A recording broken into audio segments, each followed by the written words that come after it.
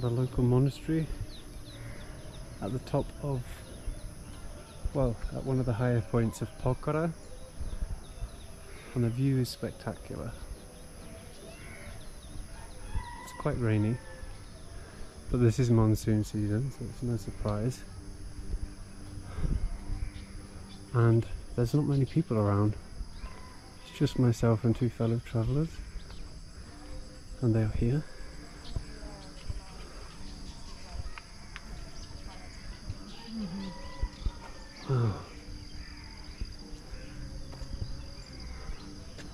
Whoa.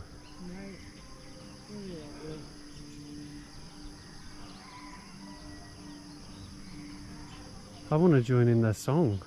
Yeah, I was like, they're killing it.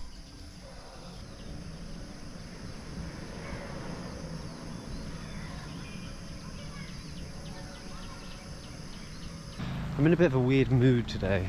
I'm not in a great mood. My head's all over the place. But I think it's um, partly to do with the last few days I've been very sick. I got sick in Kathmandu and I just got sicker arriving in Pokhara.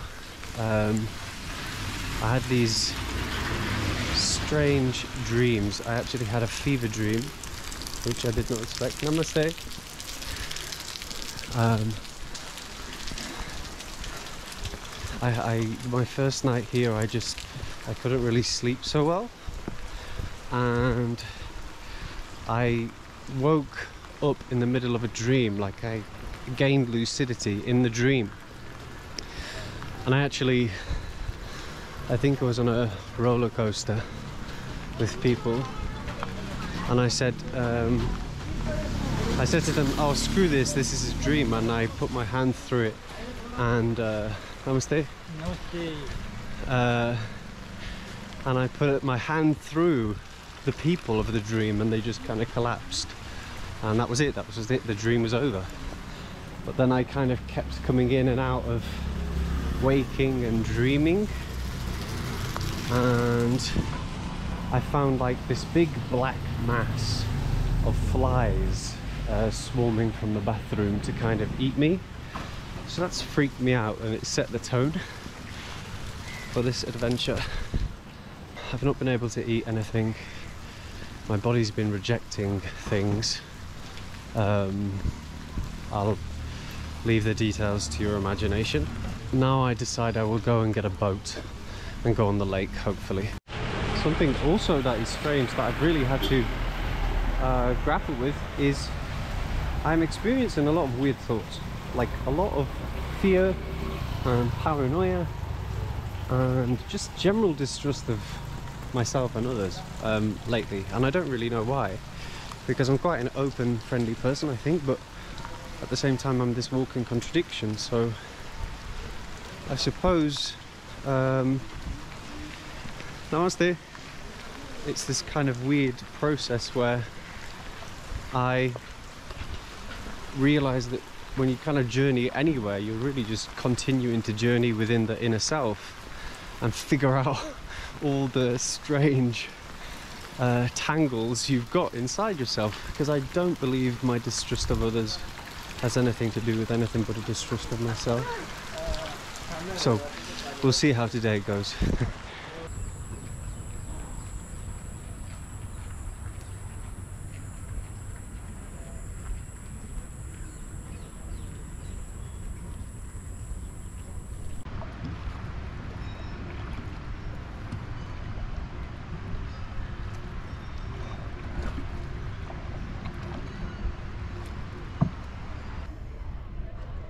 Hmm.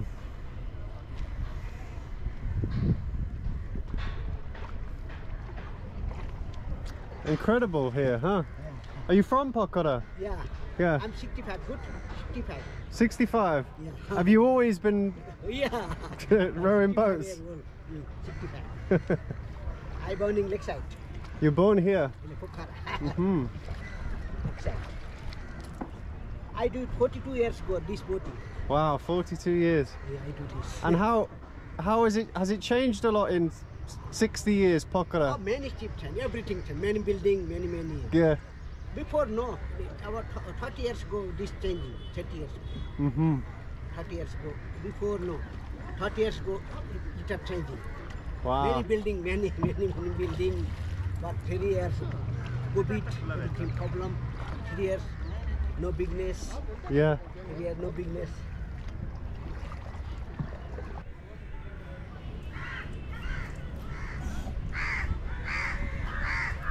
This is the Talbarahi temple.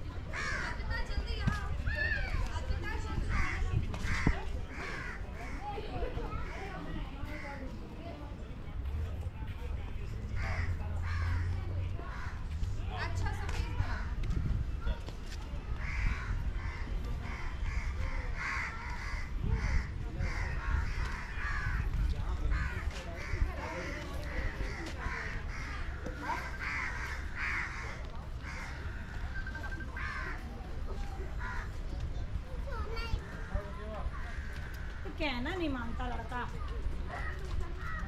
And just up there is the Peace Pagoda. And further on is the Shiva temple, which I hope to hike to soon.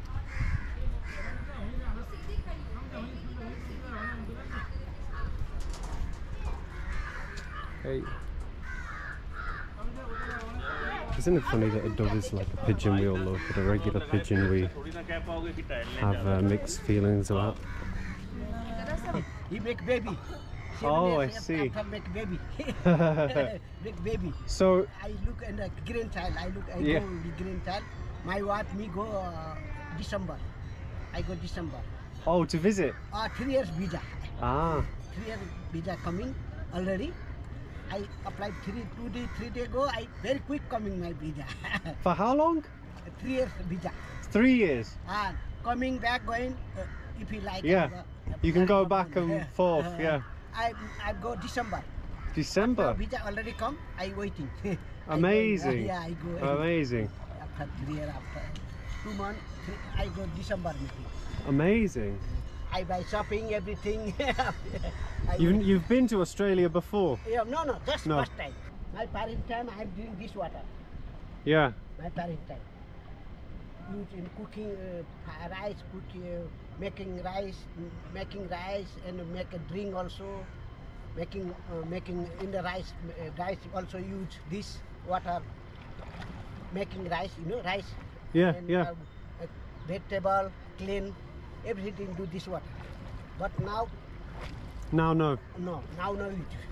And that's just because of the city and the tourism and. Every put, put in many, many dirty water. And Ah. other water drinking now. So in, thir- water in 30 years, it's just got really, Yeah, really yeah, polluted. Very good, no good water this 30 years before. Everything changing. Yeah. Before not many hotel. Now many many hotel. Yeah. many building, many A lot, huh? many house, lot of house now.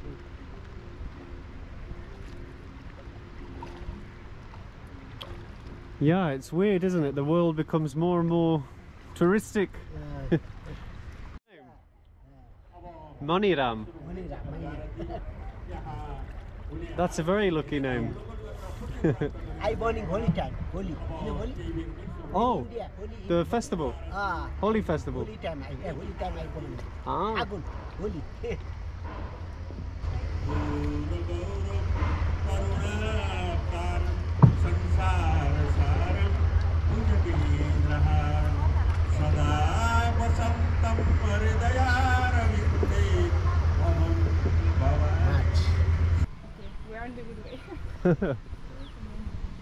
What was your name? Uh, my name is Agathe. Aget. Yes, and you? Josh. Josh. Okay. Josh, yeah. Nice to meet you. Aget. What Yes. does? Do you know what aget means? Does it have a meaning? in uh, in French? Yeah. Mm, not really. Aget. It's, it's like the name of a stone.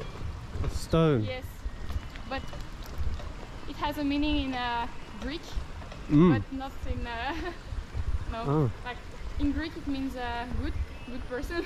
Good person. Oh, that's Yes. nice. they never have bad meanings, do they? Names really. Yeah, I don't think so. Yes. and yours? uh, I there is a meaning. I know it's like a biblical name, Josh. Yeah. But here I've met a few people that when I tell them my name, they say it means like power Oh, okay. or strong, which is quite nice. yeah. I'm like, oh, okay, cool. I'll, I'll take that. I'd love to just write and travel, Write books, write write poems, write whatever really, So write whatever I fancy. So that's nice. yeah. Write about your travelings or just completely Um, different things? I think I obviously as I'm traveling, I will write about travelings Yeah. because why why wouldn't I? I think it'd be interesting. um, and there's so much to write about when you're constantly moving, Yes. meeting new people, Yes. uh, creating new adventures. Um, but um, I would also like to write like novels, Okay. um, fiction. Um, I have no namaste. I have no clear idea as to how it will all come together. I just have faith. Ooh, that's nice. um, okay. but I would also like you. You were doing. Uh, I would like to do some volunteering here in Nepal. Yeah. I would like to. There's in Lalitpur. I saw there was an opportunity to teach English In a. Buddhist monastery. Okay. So I would really like to learn more about um, like Buddhism, really in general. I think it's a fascinating Yeah. uh, religion slash philosophy. Yeah. I've spoken to a couple of different people. Some people say it's not a religion. Some people say Yeah. it is. That's true. Yeah. We only know it's a way of life, not a religion. yeah, I keep hearing this as well, and I think it that's probably m- more correct. Yes. I They don't really worship gods or anything like this. It's more of A way of thinking. a way of Yeah. thinking and mastering your mind and and I, I think I all the Buddhist ideas are quite aligned to how I'd like to live my life. Yeah, that's um, true. Yeah. So I find it the the idea of working in a monastery, uh, teaching kids English, and then in turn learning more about Mhm. Buddhism Yeah. in practice from actual monks. Yeah. Uh, I think that would just be an amazing opportunity, Yeah. like the- yeah. once in a lifetime, really. So I think I will definitely do that. Cool. And like you, I think I would also like to go to these places that are less um, Touristic. less touristic. Yeah, see see some more rural Nepal Yeah. and and uh, little towns. Mm. Um, Yeah, I was super happy like to live in a rural area with uh, really like local peoples and um, like not non-touristic at all. yeah, And the people were just like amazing and crazy nice, like because they were so happy that some people were coming to their city. yeah, That yeah. they were so nice, and I think it's completely different life than from here or in Kathmandu.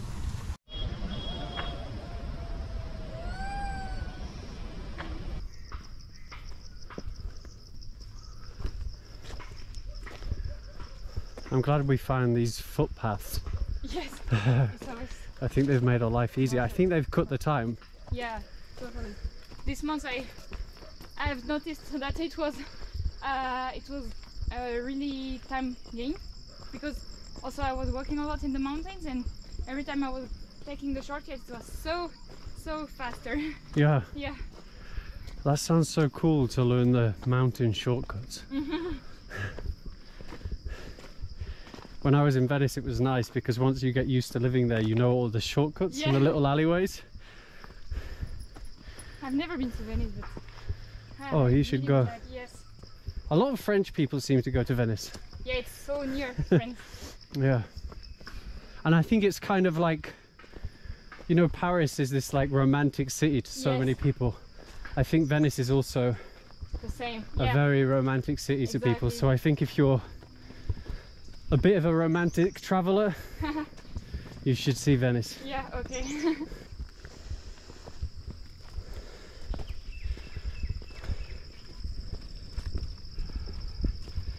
Namaste. Namaste. This jambon. Yeah. This. uh, Oh, thank you so much. For the stupa.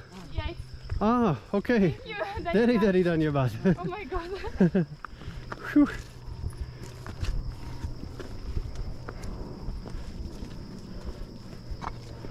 Good job we have locals here. yes, oh my god. We would have like continued for whew, hours and hours. And how are you going to get to India? Well, by plane or by bus? I think I'll just cross by bus overland. Okay. Okay. This. Huh? Be careful with this. It's the oh. worst. Like. Oh, okay. You have already. What? Okay. Oh, it, just, sticks. Yes, it just sticks on your clothes and then. Oh. Oh. Oh. And then you just like uh, spend hours to, to remove them. Oh my gosh. Looks like I'm doing that later then.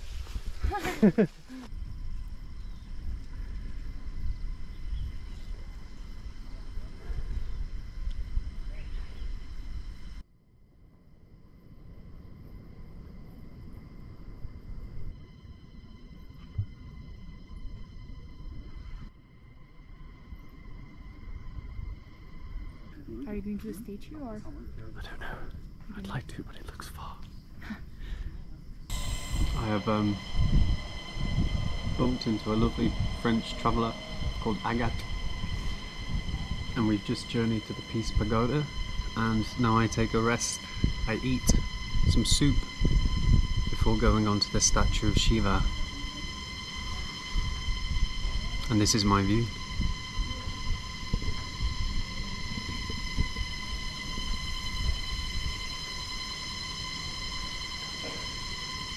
Yesterday, uh, when I went Moniram, the name of my boat uh, pilot, boatsman, uh, he told me that today is a special day for um, fasting, fasting in the name of Shiva. So I thought it would be appropriate to visit this statue that dominates the hillside and looks over the town of Pokhara.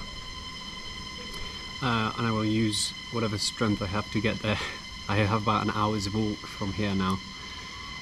Um, and I'm hoping it's a testament to mind over matter. Whew.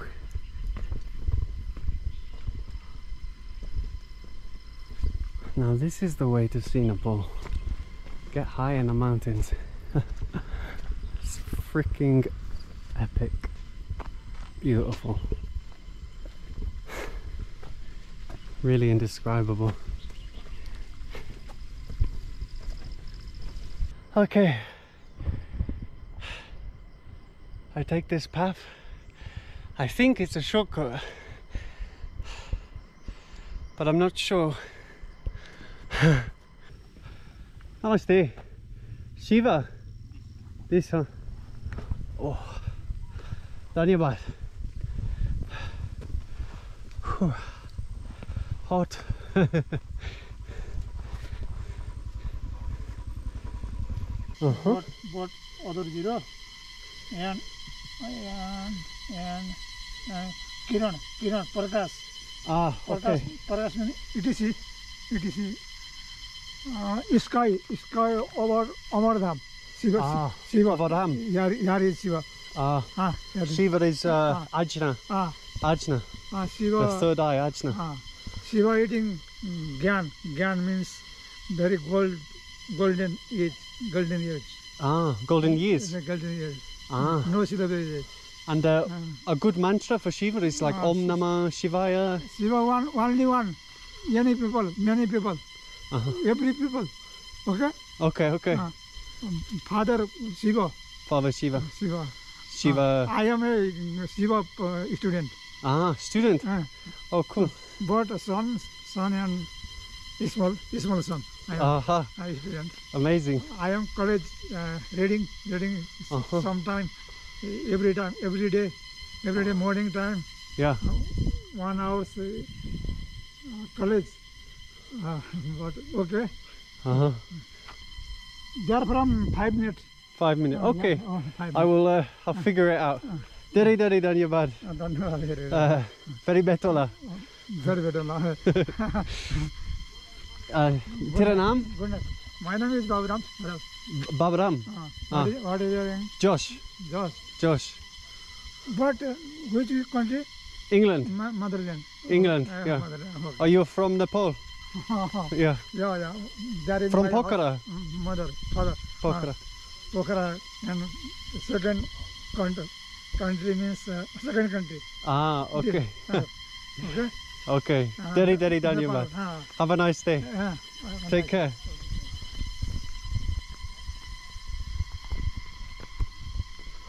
Okay, I guess we try this way.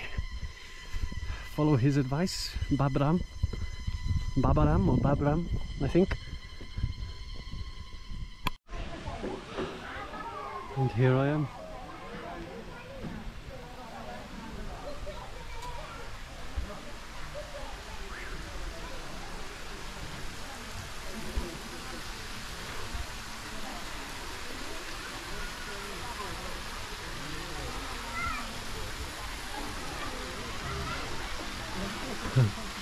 epic.